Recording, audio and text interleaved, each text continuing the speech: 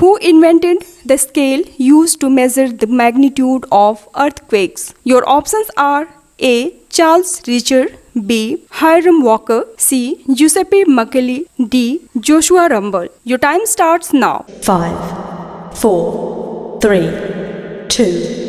1. The right answer is A. Charles Richter. Charles Francis Richter was an American physicist and seismologist who is best known for developing the Richter scale, which is used to measure the intensity of earthquakes. The year 1935 saw the creation of the Richter scale. While working at the California Institute of Technology, Richter with Beno Gutenberg co-developed the scale, which he first used in 1935.